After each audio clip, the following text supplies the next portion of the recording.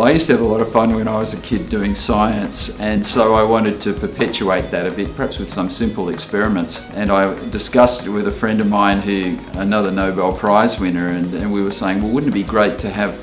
a book which has a modest number of Nobel Prize winners in there in different areas of the sciences, and with each chapter have an experiment which is some way connected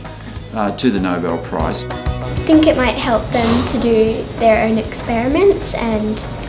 maybe to inspire them and learn about the Nobel Prize winners and how you do it. I'd probably like to win a few Nobel Prizes. I'd like to try to find a cure for disease like Parkinson's because my grandpa has it. But it's not really so much about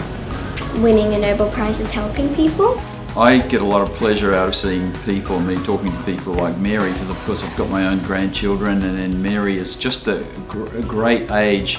where she's starting to get interested in the more intricate areas of science, starting to think about what she might do when she grows up. When Mary wins her first Nobel Prize, people will say to her, Mary, it must have been so wonderful winning the Nobel Prize and she'll say, like me, actually the most wonderful part is making the discovery and knowing that you've got some new knowledge that's going to help mankind.